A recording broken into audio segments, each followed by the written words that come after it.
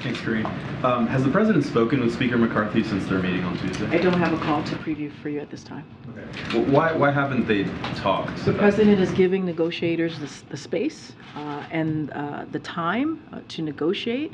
Uh, we see their conversation as being productive. I can let you know, and I don't, some of you may already know this. They met virtually. The negotiators on both sides met met, met virtually at 11:30 uh, this morning. Look, I'm not going to get uh, to speak to uh, exact number, right? That's not something I'm going to do from here. But the president and the speaker uh, have said the only way forward is to have a bipartisan, reasonable uh, budget agreement that's going to need both Democrats and Republicans in the House and in the Senate.